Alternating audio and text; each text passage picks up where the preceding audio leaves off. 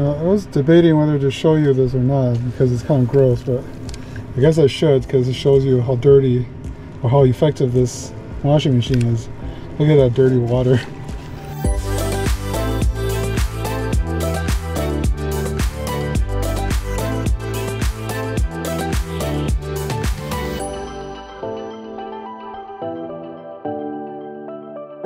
Hi, my name is Peng. I am a photographer and I am a travel addict. And as you may have guessed from the intro, today I'm going to do a long-term review of this Moyu portable washing machine. I'll talk about the pros, the cons, and maybe it'll help you decide whether this machine is right for your van or RV. And a quick note, this is not a sponsored product. I bought this with my own money, so you can trust that there is no bias in my review. I found out about these collapsible washing machines back in 2020 when my father traveled back to China and he had to go through a 14 day quarantine, and these were provided in the hotels. These compact appliances are very popular in Asian countries where sometimes space at home comes at a premium, just like in a van. For example, we have a countertop dishwasher at home in China, and to be able to store appliances away when you're not using them really helps free up counter space. At the time, I just ordered the Storyteller, so I thought this would be perfect for the van. And yes, I did contemplate getting a dishwasher for my van, but I came to my senses. Now, if you're shopping for these in China, there are a lot of different brands and sizes you can choose from. Unfortunately, here in the US, we have a much smaller selection, and all the collapsible ones I found on Amazon are gray market imports. So you're not going to get any uh, warranty or aftermarket support. That's why I chose this Moyu brand because they're actually owned by the cell phone company Xiaomi in China. And if you don't know Xiaomi, they're a, they're a more established, well-known brand. So I figured the quality is probably better than, than some other uh, brands that I've never heard of. There are multiple vendors that sell this washing machine on Amazon. I'll put the one I use down in the link below, but you don't have to buy from them. Again, not a sponsor or anything, but I did choose them because if you buy the original gray market one, it comes with a Chinese plug, and this vendor, they actually replaced the plug with the American one, so it just makes it easier. So from the box, there is the washing machine itself, a carrying pouch, a spin basket for drying, and a power supply that I mentioned earlier that works on both 110 and 220 outlets, which means you can take this on international travels if you want. In fact, that's how this product is marketed. As a traveling washing machine, you can pack into your carry-on luggage. Although I doubt I will ever drag this around in my suitcase. The machine is very compact when collapsed, and when you're ready to use it, you just pull up the top like so. The design is simple enough. The top is basically a collapsible silicone bucket, uh, the same material you see in some of the collapsible camping bowls or camping sink. And on the bottom, inside is the spinning impeller. On the front, there is the control panel. On the right, there's the dirty water release lever, and on the left, the power plug. On the bottom, you have this very clever drain design where it stores away when you're not using it.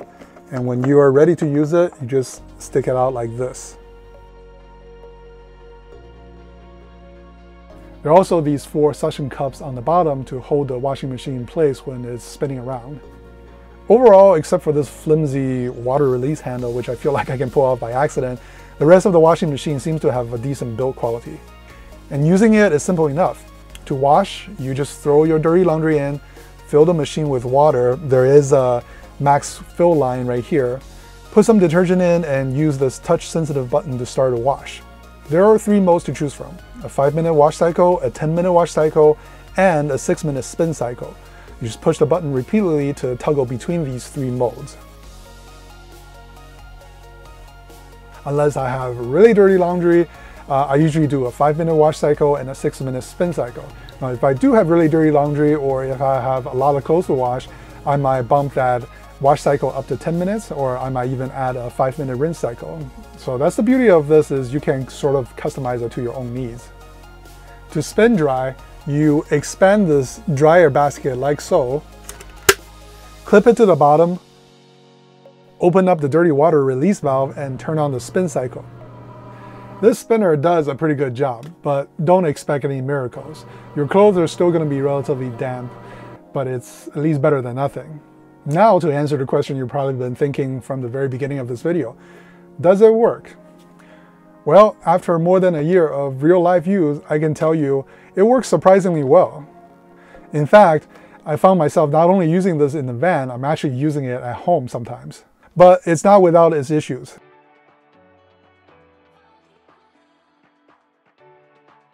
For a, um, let's face it, a glorified bucket with a spinner on the bottom, I was a little skeptical of how effective it is when I first got it. So I decided to do some experiments. I sacrificed one of my white t-shirts and rubbed it on my trail runner, which was covered in dirt. This is before. This is how it came out.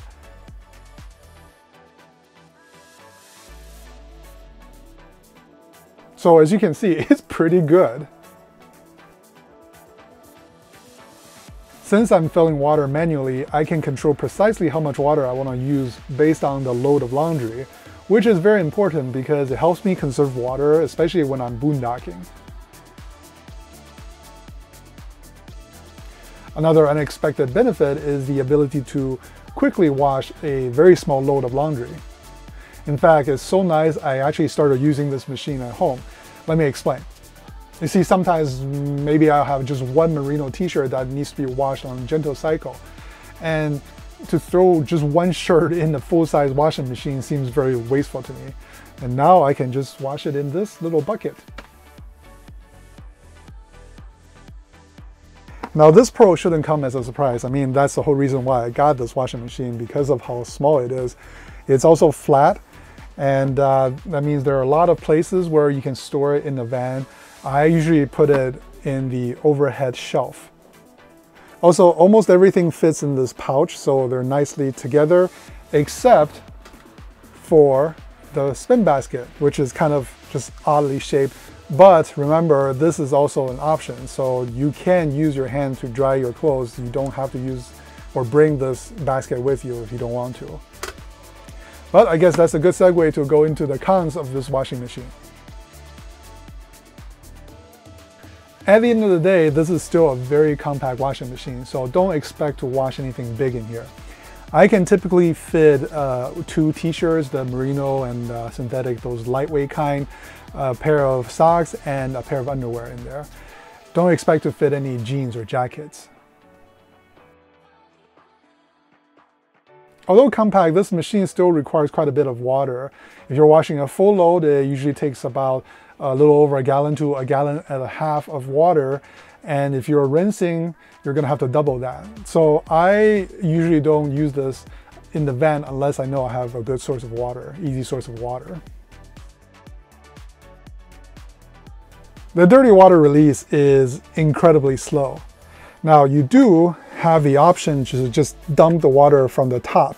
And they even have these drain hose here to help you drain. But you have to be careful because I have noticed a design flaw. One time this touch sensitive panel just started going crazy on me. It just started cycling through all the different wash modes uh, without anyone touching them and I had to unplug the washing machine to stop it. And I eventually figured out what happened was water got on this panel and some may have even seeped through this gap here when I dumped water like this. You know how on your cell phone, the capacitive touchscreen, if you splash water on it, it starts going crazy and start opening apps? Well, that's essentially what happened here. So once I dried this and let it dry completely, it was fine. And now that I've paid more attention to it, I'm trying to keep this dry, it hasn't happened again, but it is something that you should pay attention to. So, was I happy with this purchase? Yes, I was pleasantly surprised by how much I like this washing machine. It fits the way I use this van perfectly. In the summertime, I do a lot of backpacking in the California Sierra Nevada, and my backpacking clothes are few and light, so I really don't want to spend 10 bucks just to wash a few t-shirts and some socks at the laundromat. And this machine is perfect for me to do some quick laundries in between trips. I also know the area very well, so I know exactly where to get fresh water. So water is not a concern for me.